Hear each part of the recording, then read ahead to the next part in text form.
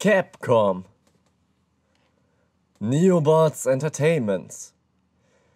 Und damit, meine Freunde, begrüße ich euch zu einem neuen Let's Play Projekt. Das ihm famöse Devil May Cry 2. Ich habe ein bisschen Angst vor dem Spiel, weil es wirklich von ganz vielen Fans immer so schlecht geredet wird. Aber am besten macht man sich doch selber ein Bild davon. Ich habe es gesagt, wir zocken Devil May Cry 1, 2 und 3. Und der erste Teil hat mir auch super gefallen. Deswegen zocken wir jetzt den zweiten hinterher. Egal wie gut er wird, ich ziehe es durch. Ihr kennt mich. Ich ziehe es einfach durch. Blind natürlich, genau wie die anderen Teile. Ich habe noch nie Devil May Cry vorher gespielt. Außer natürlich jetzt den ersten Teil. Kürzlich abgeschlossen, gestern kam der letzte Part. Und jetzt schauen wir uns den zweiten Teil an. Ich weiß, dass man den zweiten Teil sogar zweimal durchspielen muss. Yay! Den schlechtesten Teil, angeblich schlechtesten Teil, muss man dann zweimal durchspielen. Dante guckt hier auch schon richtig grimmig. Hat selber keinen Bock auf das Spiel, so scheint es zumindest zu sein. ähm, ja. Erinnert sich noch mal ein bisschen was. Wir machen das auch. Ich spiele das zweimal durch. Ist ja nicht so lang. Also Devil May Cry 1 hatte ich auch nur 14 Parts. Wenn ich jetzt hier 28 Parts für brauche, ich weiß nicht, wie lange ich dafür brauchen werde, dann ist es halt so. Mich stört das nicht. Ja, einmal mit Lucia. Neuer Charakter, kennen wir nicht. Und einmal mit Dante. Wir zocken natürlich erstmal mit Dante, ist doch klar. Oh Gott, er guckt so grimmig. Er hat keinen Bock auf das Spiel. oh man. Jetzt nicht wieder abgeschreckt sein. Jetzt kommt hier natürlich erstmal wieder PlayStation 2 Grafik. Gleich wird es mal wieder aufgewertet. Wir kennen das ja schon. Capcom Presents. Uh, Intro. Devil May Cry 2. Let's go.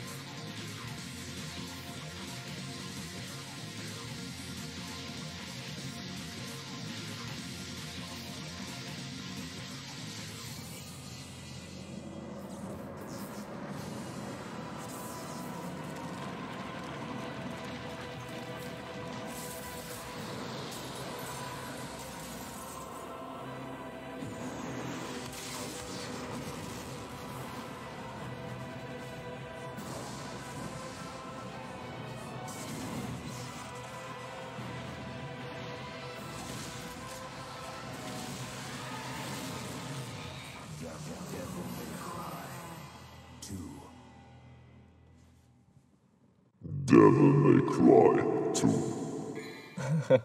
Könnt ihr nicht besser machen, ne? Ähm. Ja, ich weiß nicht. Das sah doch ganz geil aus. Also, ich weiß nicht, das, das Intro ist aber vielversprechend. Naja. Lassen wir uns überraschen, was kann man hier nochmal. Oh, Vibration aus, bitte. Das hat mich sehr gestört beim ersten Teil. Brightness mache ich so dunkel wie es geht. Nein, ich verändere das nicht. Ich habe es tatsächlich gern dunkel. Das ist jetzt kein Scherz. Ich sitze auch gerne im Dunkeln. Und ja, so düstere Spiele mit ähm, weniger Brightness, die wirken ganz anders. Aber ich lasse es jetzt fürs Let's Play normal. Normalerweise würde ich das wahrscheinlich ändern und alles komplett dunkel machen. Aber egal. New Game, neues Spiel, neues Glück. Lucia dann ihr eigenes Menü? Uh, hier gibt's nochmal ein Intro. Uh. In a time long since past, in an age of darkness, when the earth was overrun with demons and humans were powerless under their rule, Des Mundus, seine Statue.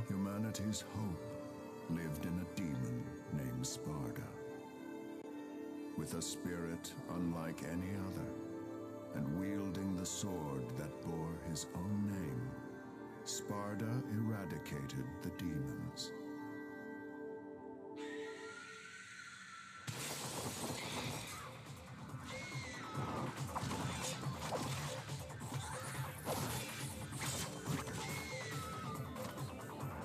And now, the legend of Sparta has been inherited by his son. The Demon Slayer, Dante.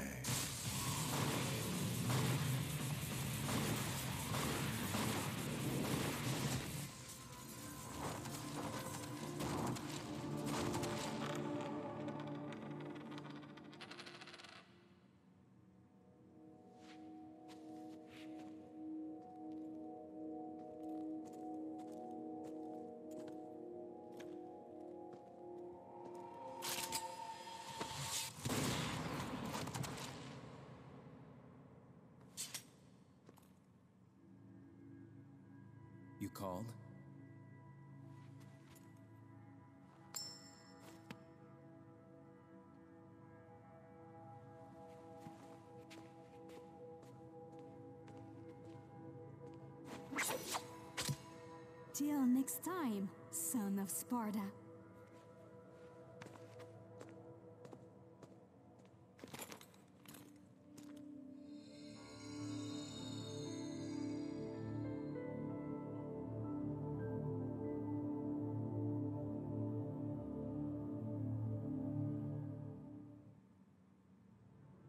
Da hat sie für uns wahrscheinlich irgendetwas markiert, wo wir als nächstes hin müssen. Mit dem Dolch. Was eine schöne Opening-Cutscene. Das hat mir wirklich gefallen. Was ein toller Auftritt von Dante, oder? Kommt aus Nichts. Zack, zack, zack, zack, zack, zack. Und macht die ganzen Dämonen da kalt. Richtig cool. Weiß nicht, hat mir gefallen. Mission 1. Im Norden wird der Jäger dunklen Bluts sein Schicksal erkennen. Wegweiser für die Jäger. Kapitel 1, Artikel 3. Oh ja. Okay. Lassen wir uns mal überraschen. Nächste Cutscene.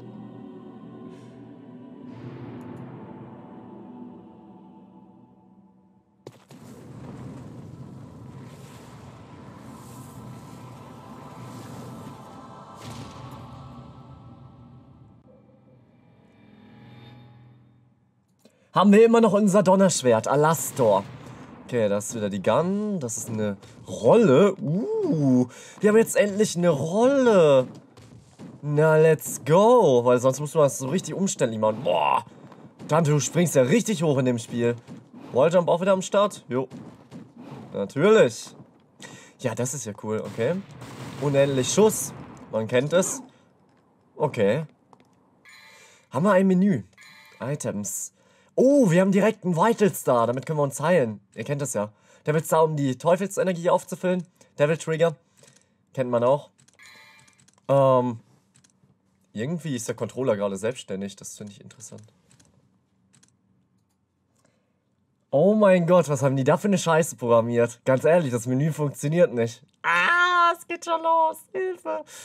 Ähm, ja, ich habe den Controller nochmal neu verbunden und es geht immer noch nicht. Es geht immer noch automatisch. Aber hier ist zum Beispiel die Karte sehr linear. Das Ganze ist auffällig. Denn Devil May Cry 1 war ja zwar relativ linear, aber ne? Die Villa an sich war ein komplexes Gebilde mit vielen verschiedenen Wegen und ja, da ich mich doch das eine oder andere Mal verlaufen und das hier scheint eher das Gegenteil zu sein. Aber hier, ich mach nichts. Bewegt sich voll ein. Das macht mir Angst. Das macht mir Angst. Amuletts. Ergänzt ihren Devil Trigger Angriff durch Blitzelement. Aha. Da kriegen wir wahrscheinlich noch mehr Fähigkeiten rein. Wunderschön. Schwert ist Rebellion. Es ist nicht mehr Alastor. Richtig komisch. Wir hier die Handguns. Doppelpistolen mit magischen Kugeln. Ich dachte, das wäre normale Guns. Okay, da können wir Sachen nachschauen. Pfeil. Kann man sich über die Gegner nochmal wahrscheinlich informieren, etc.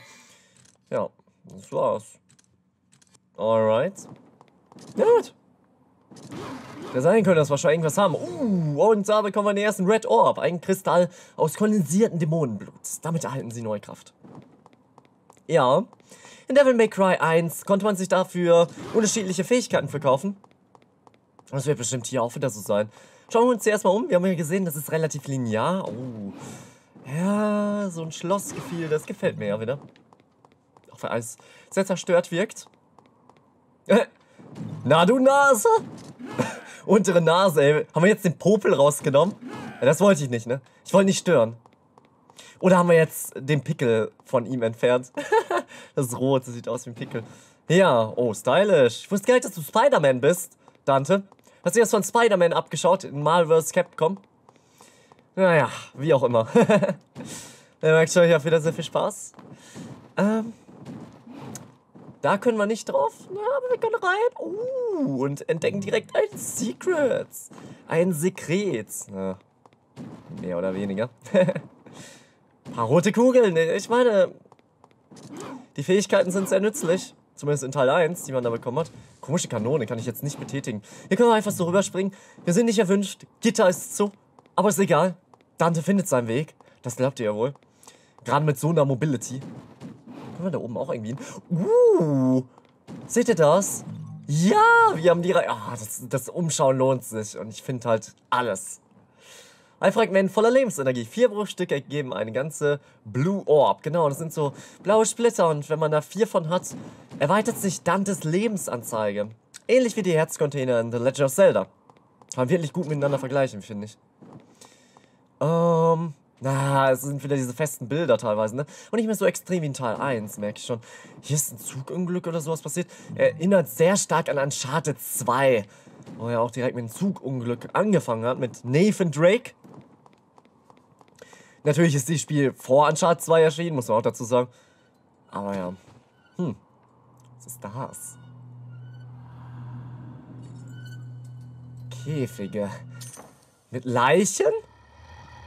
Oh, und ich glaube, die leben noch. Hallo? Oh shit, von wegen Käfige mit Leichen? Die Käfige greifen uns an. Agonov Ines. Oder Agonov Ines. Ich glaube, die haben Leertaste vergessen. Ach ja, Devil May Cry 2. Und die Guns sollen sehr overpowered sein. Und das sehe ich jetzt auch schon. Weil ne, wir schießen einfach nur ins Gewinnen. Wow. Da haben sie so eine blöde Anvisierfunktion reingebracht in Devil May Cry 2. Wo man nicht mal das Ziel wechseln kann, wie in Kingdom Hearts zum Beispiel. Oder kann ich irgendwie das Ziel wechseln? Nö. Visiert automatisch an. Immer den nächsten Gegner wahrscheinlich. Naja. Kombosystem wurde vereinfacht. Langweiliger gemacht. Es hat nicht mehr so viel Vielfalt. Ich habe mich ein bisschen informiert. Um, ja, muss mal gucken, wie sich das entwickelt. Schlangen macht aber Spaß. ist ja auch gerade der Anfang des Spiels, ne? Ja, was ist das hier für eine Stadt? Sieht sehr verlassen aus, zerstört aus. Und ja, wir sehen ja schon, die Dämonen haben das so ein bisschen übernommen. Hm. Oh, eine leichte Schräglage. Bin ich besoffen oder ist der Kameramann besoffen, der das Ganze hier filmt? Oder ist Dante besoffen oder ist die Stadt besoffen? Wer ist hier besoffen? Sind wir alle besoffen? Seid ihr besoffen? Bin ich besoffen? Oh Gott. Hilfe! Wir sind alle besoffen. Die Welt der Besoffenen. Hilfe! Lass nicht. Oh mein Gott, ja, das sieht alles so schräg aus. Weißt nicht, als wenn die Kamera so hält. What were they thinking? Oh Mann. Die kennen wir schon aus dem Intro. Hallo, ihr blöden Aasgeier, hä? Oh, yo, wir können fliegen und... Fliegen nicht, aber springen und schießen und dann lange in der Luft bleiben, das ist ja cool. Devil Trigger wird man wahrscheinlich so aktivieren wie in Devil May Cry 1. Mal gleich herausfinden. Ganz ehrlich, wenn die Gegner nur wegfliegen, kann ich ja nur sogar zur Pistole greifen. La la la la la. Okay. Er läuft. Devil May Cry 2 soll noch leichter sein als Teil 1, der an manchen Stellen zu schwer war für den einen oder anderen. Für mich war es natürlich gerade die richtige Herausforderung. Ihr, liebte, ich, ihr wisst ja, ich liebe sowas. Schwere Spiele, wo man ein bisschen zeigen muss, was man, was man kann, was in einen steckt. Und Devil May Cry 3 soll wieder sehr fordernd sein. Ich habe ein bisschen Angst. Aber ja. Alles zu seiner Zeit, I guess. Ist ja oben noch ein Blue Fragment. Who knows? Tante, Walljob! Ich dachte, das ist deine Spezialität. Kann man wahrscheinlich hier nicht. Doch. Ich weiß nicht, ob man da auf das Hausdach da drauf könnte. Aber wir können uns ja auch hier erstmal unten umschauen. Uh, da kommt man auch hin. Sag nicht, wenn ich da jetzt... Nee, da kommt man hin. Uh, hier würde ich was verstecken als Entwicklerin. Ich weiß nicht, was passiert. Ich muss es herausfinden. Okay. Ist nichts Schlimmes. Ey, wir werden belohnt. Das Ding ist, übrigens, das Outfit von Dante sieht richtig cool aus in dem Spiel. Ähm, es gibt manche Spiele, zum Beispiel Red Dead Redemption 1, wenn man das Wasser berührt, dass man instant stirbt. Ich wusste ja nicht, dass es nicht so tief ist. Hätte ja sein können, dass es richtig tiefes Wasser ist, was Dante sofort absäuft. Alles nochmal von vorne. Das hätte dem Spiel zugetraut. Teil 1 war so gemein, teilweise auch. Eher bei den Bossen und so, aber ja. Immerhin, ne? Uh, jetzt müssen wir uns auf den Dächern fortbewegen. Interesting. Oh, hallo. Eisenmann, hier kommt der Eisenmann. Oh Gott, die können ja gar nichts. Get wrecked. Was ist das denn? Don't worry. It's good to be Kartoffelpurry. Don't worry? Was, die haben die Combo-Namen auch ein bisschen verändert? Warum hat man so viel Veränderungen getroffen? Waren die Spieler nicht glücklich mit Devil May Cry 1? Oder war es zu Resident Evil lastig? Ich sag's nochmal ganz gern nochmal. Devil May Cry 1 sollte erst Resident Evil 4 werden. Nun haben die Entwickler sich gedacht, ey, der erste Teil ist richtig gut angekommen. Der erste Teil war amazing.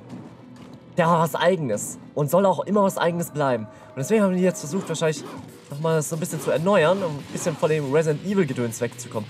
Das ist jetzt, ähm, nicht als negativ ansehe und nicht, auch nicht als positiv, sondern eher als neutral, weil ich mag Resident Evil auch. Aber ist ja ganz gut, wenn man so seinen eigenen Stil findet, ne? Oh, shit. Hallo, hallo, hallo, hallo. Ich bin Dante. Aus dem Weg. Abschauen. Da ist irgendwo noch einer. Of Ines. Da unten. Im Wasser. Ja. Auch die Dämonen müssen mal ein bisschen baden gehen, ne? Man kennt das. Soll ich den Argono, Argonov Ines nennen oder of Ines? Hm. Ich glaube, ich halte das in Balance. Da die Entwickler wahrscheinlich selber nicht wussten, was sie jetzt machen wollen. Nee, aber Gameplay-wise, I mean, Gegner sind überhaupt kein Challenge bislang. Aber es macht Spaß. Außer das Menü. Das Menü war echt der größte Ranz, den ich je gesehen habe. Ja, Combo-Vielfalt haben wir wirklich nicht. Guck, ich habe hier versucht, die alten Kombos zu machen, die gehen nicht mehr. Ja, früher konntest du durch das Verzögern ähm, des Button-Drückens konntest du andere Kombos machen. Und dann hast du noch Ilfrit, einen Feuerhandschuh und dann hast du später noch äh, Spada bekommen. Mehrere geile Waffen. Und ich glaube nicht, dass du hier so viel Vielfalt hast. Naja. Wir werden das sehen. Spawnen die immer nach oder ist das jetzt einfach unfortunate von mir? Ist einfach Pech. Das weiß ich nicht. Auf jeden Fall schon 808 Kugeln. Ich glaube, ich spawn nach. Aber, oh, die Anvisierung. Bei Devil May Cry 1 war es auch an manchen Stellen so, dass Gegner nachgespawnt sind. Aber es hat dann irgendwann auch aufgehört. Oh Gott, das mit der Anvisieren ist scheiße, Leute. Das ist wirklich nicht gut. Boah, sind die Schusswaffen broken. Ah, ich merke schon Pavlos. Ich merke Pavlos. Die mich aber nicht stören. Komm schon. Liegt nicht so einfach am Boden. Am Boden zerstört. Haben wir auch noch die... Oh, wir haben gar nicht mehr die Stichattacke. Och man, das war eine der besten Attacken. Du durch ähm, Gedrückthalten der Dreiecktaste so eine Stoßattacke nach vorne machen. Das hat die Gegner weggeschleust, hat übelst viel Schaden gemacht. Das hat die Gegner zum Boden geworfen. Das war richtig gut. Muss man zwar erst freischalten, aber sobald man das hatte, hat man es geliebt eigentlich. Das war sehr, sehr stark. Uh, der Walljump wurde mächtig verbessert. Und wir haben direkt den Double Jump. Den muss man für ganz, ganz viele rote Kugeln freischalten. In Devil May Cry 1. Das hier eigentlich hin? Ja, von wegen linear, ne? Hier sind immer zwei Wege gefühlt. Das ist für komische Statuen. Hm. Dante! Dante! Okay. Die kann man auch nicht anvisieren, ne? Ich wollte es nur mal gesagt haben. Uh. Eine Bank, wunderschön. Setz dich erstmal hin, Dante. Setz dich erstmal. Setz dich. Lehn dich zurück. Entspann dich. Uh, der ganze Bereich ist rot geworden. Das heißt nichts Gutes. Oh Mann, ich wollte ihn da oben angreifen und was macht er? Greift ihn da unten an. Ja, also die Anvisierung ist wirklich scheiße. Die ist nicht gut. Ist so ähnlich wie in Kingdom Hearts, nur in grottenschlecht. Gold Orb, das ist früher Yellow Orb. Ein von Unsterblichen geschaffener Kristall mit der Kraft der Wiederauferstehung. Ja, wenn man gestorben ist, dann darf man quasi Continue benutzen. Muss nicht die gesamte Mission nochmal von vorne machen. Hat man keine Golden Orbs mehr in dem Spiel, heißen die so, wie wir gesehen haben, dann ähm, ist es Game Over. Man muss die ganze Mission nochmal machen. Oh shit. Naja, solange ihr die Letzten seid, ist mir das eigentlich egal. Ärgern auf Ines und tschüss, Mann. Nein, da kommt noch einer. Lasst mich doch in Ruhe. Bin ein Tourist. Ich will mir nur die Stadt anschauen, okay? Oh, wer, wer schleudert denn da immer die Sachen? Oh mein Gott, das ist ja lächerlich. Lächerlich gut von dem. Oh mein Gott, okay, aber in Luft sind wir safe. Da kann er uns nicht treffen. Das erinnert mich an Dark Souls, diese Skeletter. Die da an diesen Rädern waren. Generell hat Devil May Cry auch ein bisschen was von Dark Souls vom Setting und so. Mhm. Ja, das war der große Ansturm. Naja. Es war okay. Ey, das ist eine coole Statue. Gott der Zeit. Ja, es wird nie gesagt, dass es Kronos ist, aber der Gott der Zeit ist halt Kronos. Ja. Hier kann man Sachen verbessern. Swords. Ach, hier kann ich das Schwert verbessern. Und es geht wieder automatisch, wie ihr gesehen habt. 5000 kostet das. Ganz verbessern. 10.000. Was? Kriegt man hier so viele rote Kugeln oder ist es einfach nur ridiculous jetzt? Wild Star kann man 30 Stück von haben in dem Spiel. Was? Devil Star, Devil Star, Large, Holy Star. Der ihren Körper, Leute. Das weiß jetzt auch nicht, was das ist. Smell of Fear, also Geruch der Angst. Damit können sie gegnerische Angriffe bis zu dreimal ausweichen. Uh, so ein Schutzschild quasi. Man kann nur einen Yellow Orb haben, oder Golden Orb, Blue Orb. Erhöht die Lebensenergie natürlich, wenn man vier Stück davor hat. Ich glaube, es ist ein kompletter Blue Orb. Dann kriegen wir instant mehr Lebensenergie. Das erhöht die Devil Trigger Anzeige. Oh mein Gott. Ich glaube, wir sollten die Schwerter und Guns verbessern. Vielleicht sogar die Guns, weil die so stark sind im Spiel. Da würde ich immer sagen, sparen wir. Keine Kombos mehr, die man kaufen kann. Ja, das ist schon mal schlechter. Ganz ehrlich? Ne, ich betrachte das Ganze hier neutral, das ist aber schlechter. Das ist definitiv schlechter. Ihr könnt mir sagen, was ihr wollt. Das ist definitiv schlechter.